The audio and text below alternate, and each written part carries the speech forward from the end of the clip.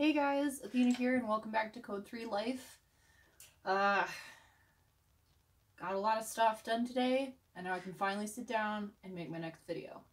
Um, there was a bit of a cluster on my on my last one when I reviewed Chicago Fire. I had to uh, take it down and re-upload it three times because of copyright issues, even though I checked and I wasn't actually breaking any rules, but whatever. So just took out the offending parts and put it back up because fuck the man. Um, yeah, so please check that out. I, all of my previous views were knocked out and, and all the comments, so f- feel free to view and re-comment. Um, so yeah. Um, today, I I wanted to do something just EMS related, and I went down my list and I watched all the trailers for everything that I've that I've got on my list, and they all looked terrible. And it, except for Sirens, which I will be reviewing at some point, but I just I'm just not in the mood today to sit down and watch something that's awful. So, I'm going to sit down and review something that I know I already like. I am reviewing parts of Bringing Out the Dead today. Wah! Um, not the whole movie because that would be an insanely long video. Um, I have seen Breaking Out the Dead once, but it was a long time ago, and I was a lot more interested in making out with the boy that I was hanging out with than watching the video, the, the movie. So I didn't retain a whole lot, but we're happily engaged now, so there you go. Um, so yeah, Bringing Out the Dead, um, I'm sad to admit, is only Nicolas Cage's second greatest movie, the first obviously being National Treasure. Um, and yeah, it's all about a burnt out medic who, uh, you, just watch it if you don't know the, the, the, the plot, just watch it. but it has easily some of the most hilarious slash relatable scenes in any movie ever. So, I'm excited. Let's jump in.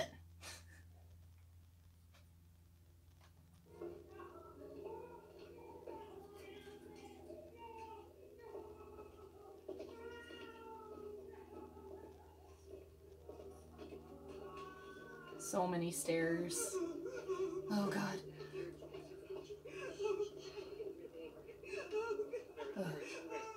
Hysterical family is absolutely no help. And he sort of pinched his chest and he went. Next thing he locked himself in the bathroom. So I told him I was going to call you guys. He said, How long ago did you stop breathing? I don't know, 10 minutes, 10 minutes, 20. Uh, woman on the phone trying to tell us how to do CPR. Could you do something? You can do what we can. He's crying. I never heard him crying before.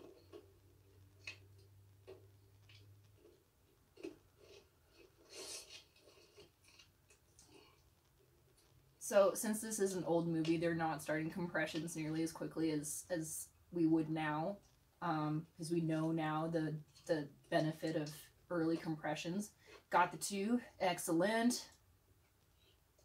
The fake part is that the family's now quiet. They would still be making ass loads of noise, which would of course distract you, but that's Clear! what. Clear! Oh, Ma'am, I need you to step back. Clear! Clear! Yeah, no more. Don't try and save him. Oh yeah, Johnny and Roy, that shit. Flip the tops. Oh my god, I've done that so many times on scene and I always feel so cool. Slam. Yes. Asystole. They shocked asystole again. Oh no. Last year, I'd come to believe in such things as spirits leaving the body and not wanting to be put back. Oh. Spirits angry at the awkward places death had left them. Oh, Speaking of awkward, is that I super awkward understand how crazy narration? it was to think this way, but I was convinced that if I turned around, I'd see old man Burke standing at the window, watching, waiting for us to finish. Hmm.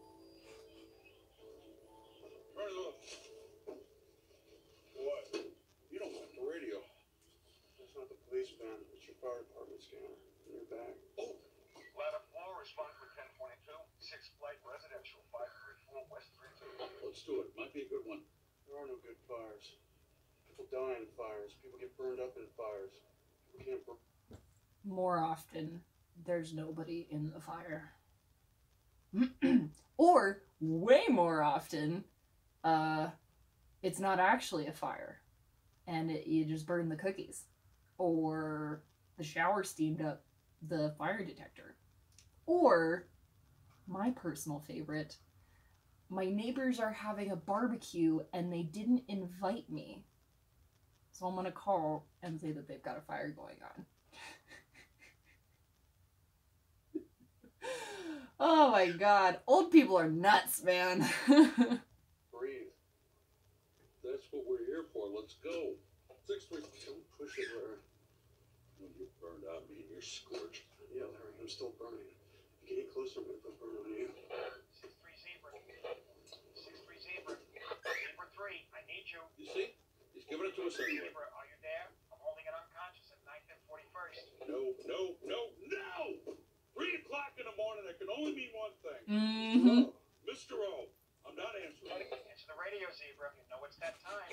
Four times this week I've had. Him. Aren't there any other units out there? Zebra, you there? Don't answer. They'll, they'll get somebody else. Answer me now, or I'm sending a captain to your location. I'm sending a captain. When, when I say don't answer, it means answer. Do me that favor at least. Six three zebra. Yes, Zebra. Oh my god. I love it so much. oh, yes. Frequent flyers for the win. Oh yeah. Oh yeah. We got a couple in in the place that I work. We got, we got probably a solid 5 that we see at least once a week. And they're never just drunk because, you know, that would be too easy. They are always drinking, I don't know, hand sanitizer, vanilla extract, cooking wine, which you can purchase without an ID, by the way. But you need an ID to purchase Dayquil. What the fuck is that? I don't know. Anyway, um, yeah. And let me tell you, someone who has been, who, who has gotten drunk on vanilla extract does not smell like vanilla. but yeah, yeah, yeah. Uh, just you know, fourth time this week. Yeah. Um, they did. They they they brought together all of the calls that Denver paramedics, which who's who are the people who do nine one one for Denver, and um, I think three years ago, half of all their calls were responding to the same six people. yeah. Okay. Man who needs no introduction. Chronic caller of the year, three straight, and shooting for number four. Duke of Drunk, the King of Stink, our most frequent flyer, Mr. O. Ten four. Don't do it. Not this time. Relax, it's a street job. It's easy except for the smell. Just throw him in the back, zip over to Mercy. No blood, no dying. That's how I look at it. He's just a drunk. It's not our job to taxi drunks around. Yeah, but they're just gonna keep calling. Someone's gonna die someday because of this bum. Gonna have a cardiac, and the only medics will be taking care of Mr. O. Yeah. Uh, and and it is actually our job to taxi drunks around because uh, not to get too deep on you here, but the healthcare system in America is broken, and all of society's ills fall to EMS and the hospital system. So here's a truth bomb for you. My God the best scene in any EMS movie ever. oh no, he's dead! Okay, what happened? Please tell me he's gonna be all right. Well, he did. Oh, he's We just signed our first record deal. Well, if he did, son, ain't nothing we can do about it. Come on, Frank, that's it. What do you mean he's dead? He's not dead. It's a heroin overdose. Mhm. Let's break out the Narcan. Narcan. Dead unless you folks want to stop bullshitting me and tell it straight. Then the good Lord willing will try and bring him back. Broke up with his old lady. We didn't break up. We were just Ah, seeing other she people. broke his heart. Shut up, asshole! Nobody asked you. you I will. just- I told you. Dare you? I will. Shut up. I'm still waiting, and this young man here is still dead. That too? You end up like him. Shut up. Dick. Shut up. stuff. It's been going on for like four days now. Red death stuff. You despairing of drugs in the name of Jesus. What's his name? I'll be banging. What you mean I'll be back? I'll be bang. What the hell kind of name is I'll be back? I don't know his real name. Frederick Smith. Okay, Freddie. It's Frederick. Okay, I'll be banging. I'm gonna bring you back from the dead. Now I want everybody here to grab the hand of the person next to you. Uh, but that IV placement though. It's honestly one of my biggest pet peeves that nobody in any medical related hospital, EMS, doctor, movie, or TV show knows how to start a goddamn IV. Or even knows how to make an injection. I think my favorite, like, needle related fuck up in movies and TV shows, and by favorite I mean the one that gives me an aneurysm, is when they stick a needle in somebody's neck. Especially if the needle is like that long. And I'm just like, you're gonna hit trachea, dude. You're gonna go all the way fucking through. There's no meat in the neck. Unless you're fat. There's no there, there's no meat in the neck. There's like nothing that is not super important in the neck. There's like bone and like brain fart, ligaments and tendons and arteries and veins, trachea, esophagus. That's all. That's like all that's in the neck. There's not an awful lot in the neck. That's why you go here, or in the leg, or in the ass. Like, yeah. Sorry, I just got super off topic. Right. Um, yeah. That IV placement though. I don't even know where he was going. He got, he went so deep. I and, and there, there there's like a lot of important stuff in here too. That's why like tap it. It's hard because there's like ligaments and tendons and shit. The veins are in the soft places, like here. But that does not take away from the part the the fact that this scene is fucking brilliant in every capacity. Let's continue. Sorry. Come on now, man. We ready to go. You got like 30 seconds. Look up towards the heavens. Dear Lord, here I am again. Asking one more chance for a sinner. Please, Lord, bring back I Be Bangin'. You have the power. Oh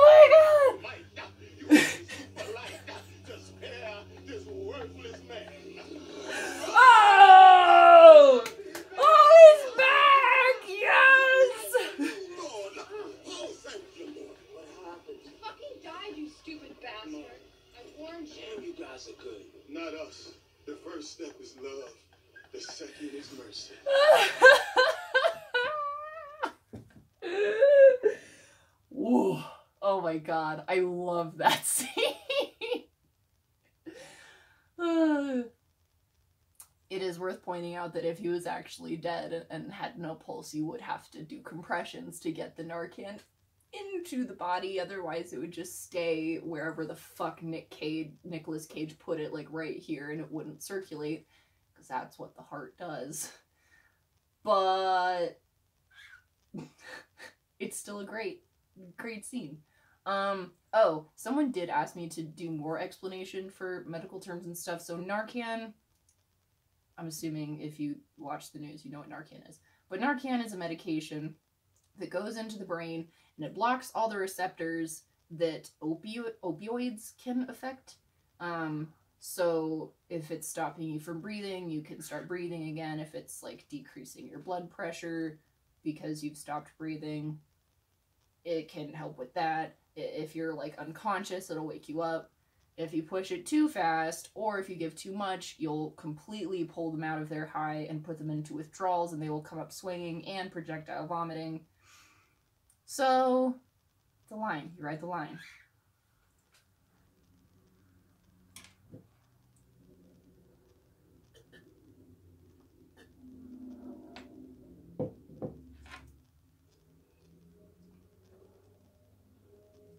Again with the stairs.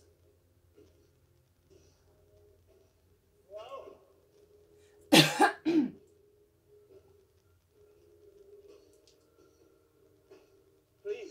hurry. Please hurry. Come this way, please. She's over here. This way, hurry. Uh, ah! está bien. Ah! Ah! My, my, fat crackhead. Now that's a first. What's wrong? No English. She has terrible pain in her belly. Just terrible pain. I mean, you know, she's pregnant. Yeah. No, that's impossible with virgins. Are you pregnant? Estás embarazada? Can you walk? What these caminos? She's facing great pain. Thank you. Smacked him in the face. What's your name? Nombre. Okay, Maria. All right, hon, let's have a Oh god. Está bien, Maria. You two know each other a long time? Two years ever since we left the island. Now, this is a personal question, but I gotta ask you. In all that time, you never had sex? No, never. You know, maybe you had a couple of beers one night last summer. You know how it Hmm. works, huh? Yeah, it was, yeah, you know how it works. I mean, honestly, some people don't know what causes babies. Still, to this day, I'm pretty sure I ran one of those. What day is it? Two days ago. So that's a possibility. Never. No cigarettes, no drugs, no beer. No underwear. We're virgins. Oh, Jesus, we better go. Call for backup. Maybe he is. Hold her down. Oh no! Three legs. That's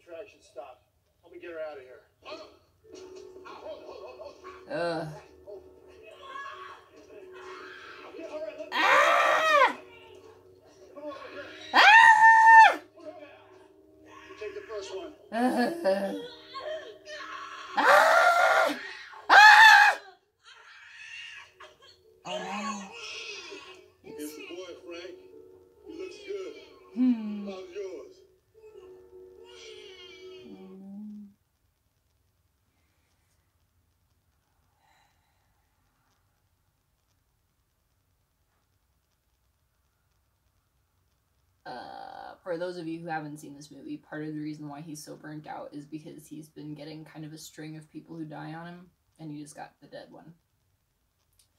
Um, but what just happened there is what's called a breech birth. It's when anything that's not the head comes first. Um, it's very, very bad. A lot of the time, you can't deliver the baby that way, and they have to come out by C section. Um, and that can happen a lot with premature babies or a couple other things, which is why it's very important to get prenatal care because even though the baby moves all around during pregnancy, during the last four weeks ish of pregnancy, it should start heading that way. So, yeah. And it's also very dangerous for the mother because you can break and tear and, and stuff. It's really bad. So, breech birth is bad, but it's also very rare. So, that's good. Um, and also, that baby was delivered not breathing and not moving, but a lot of babies come out like that. That's why you, you, you rub and you, you clear the airway, just like our heroes did in 911. Yeah, you remember that when they. Yeah, fucking idiots. Anyway, um, yeah, so that baby's not necessarily dead, but for the drama of the movie, of course.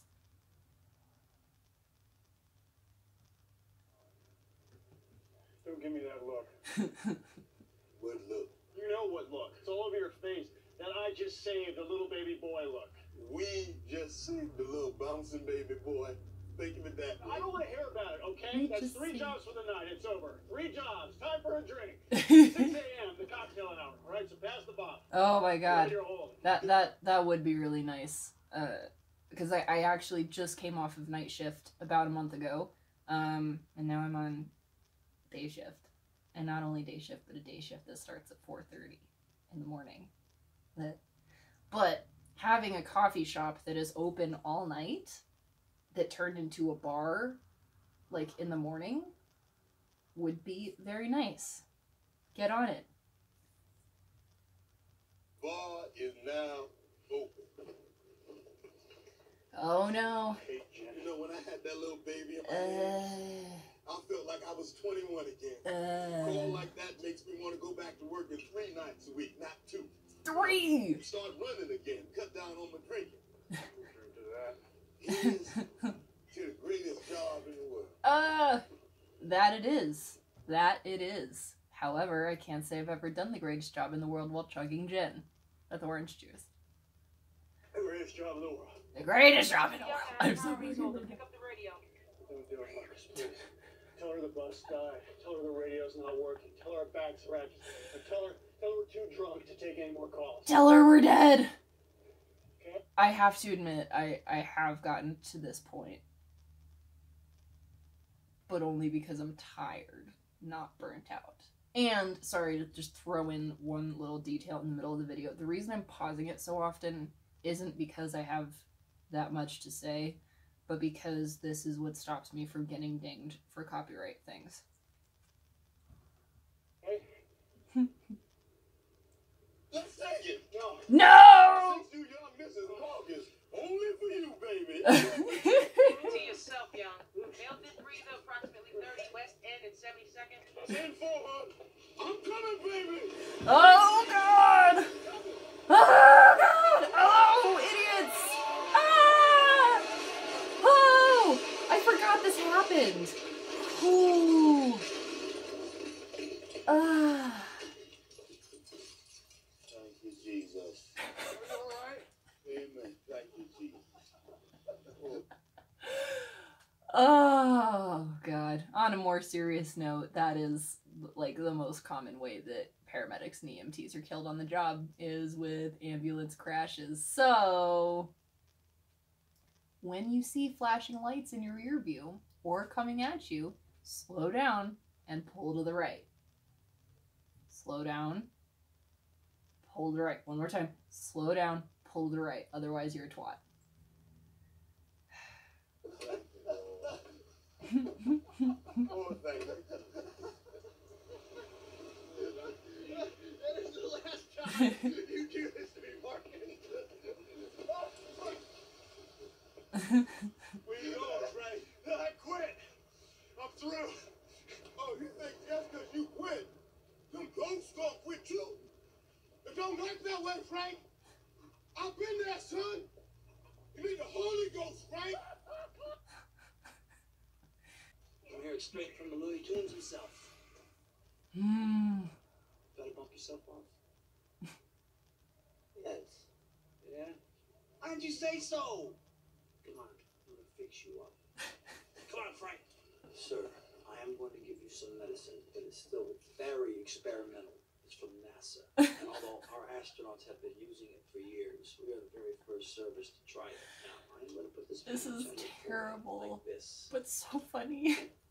In about a minute, you will have to relax. You will lose all your suicidal feelings. It's very important that you wear the patch for at least 24 hours and keep checking the mirror. If the patch turns green, you have to see a doctor immediately. The side effects could be fatal. Okay, okay, now what did I say? What color? Cream. Oh, cream. Use the God. cream. Cream. Green. This, Green. excuse me. This is the worst suicide attempt I've ever seen. Pulse here? That's where you cut. And it's not across, it's down like so. Here, take it. ah! What? I can. Okay. Nice. With all the poor people of this city who wanted only to live and were viciously murdered, you have the nerve to sit here wanting to die and not go through with it? You make me sick! Take it! Take it! And there he goes. Oh. There's nothing we can't do. Oh.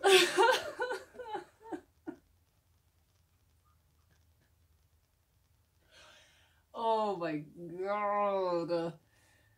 that is such a touchy subject that I have so many opinions about that I'm not going to share right now. Um, but yeah, yeah. Um, suicidal people end up in our ambulances all the time. People who aren't suicidal but want everybody to think they are end up in our ambulances all the time because people need help, people need support, and the only thing that they can think to do to get that support is to call 911 because your friends might be busy and your parents might be sick of you drinking all the time and your wife might be real fucking tired of you doing drugs. But you know who's always there for you? That's right. But yeah, it does get frustrating after a while. It definitely does get frustrating, especially the people who can't and won't won't seek help that is not us. But it doesn't take away from the fact that this scene is so just oh, it's funny, but in a terrible way. Uh,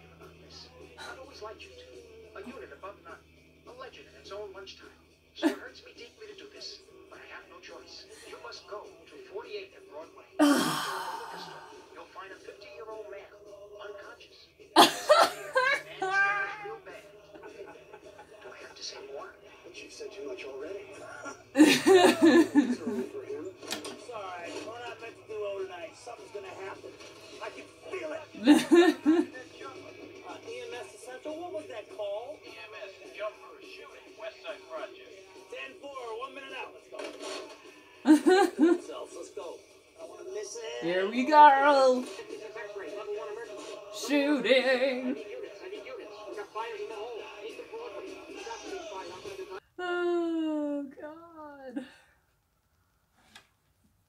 Burnout's a hell of a drug, y'all. Oh man. Oh man. I kind of forgot ha- uh, how dark this movie was. Um, but it's Martin Scorsese, so there you go. Um, yeah. So that is Bringing Out the Dead. it's an interesting movie. It definitely have some truths in it. Definitely some not so true things, but definitely have some truths. Burnout is legit.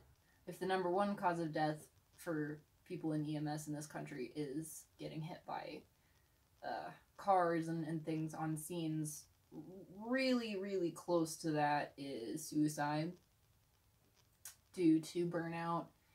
And yeah, it it gets it gets hard sometimes, especially when you're seeing the same drunk asshole several times a week when you're dealing with with death, um, when you're dealing with people with addiction who take out their addictions on you, when you're dealing with assault and and threats and foul language and all that stuff coming from our patients, especially for those people who work for places that don't give them a lot of support, um, it definitely gets rough. This one was a little bit darker than than I think my last couple. Um, but yeah. it's definitely funny. I'd recommend it to anyone in EMS who hasn't seen it, which is probably like nobody, and anybody who's not in EMS who's a fan of Martin Scorsese and or Nicolas Cage. Um yeah. So, that's that's what I got for you today. Um Do you want to see the kitty again? He just I I'll get him. You want to say hi to everybody? Hey, baby. Oh. Oh no. Now he's